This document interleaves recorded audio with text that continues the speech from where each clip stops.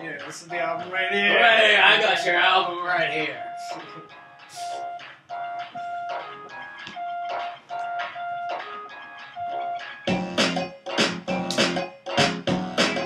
What's gonna happen here? You do the chorus? Yeah. It's gonna be like a later version of the chorus. It's not good. Blame it on the gin, blame it on the henny, blame it on the drink that was one too many. And I'ma take you home, we can get it gotta go. Oh, oh, oh, oh. What do you think? I think it's good. Fucking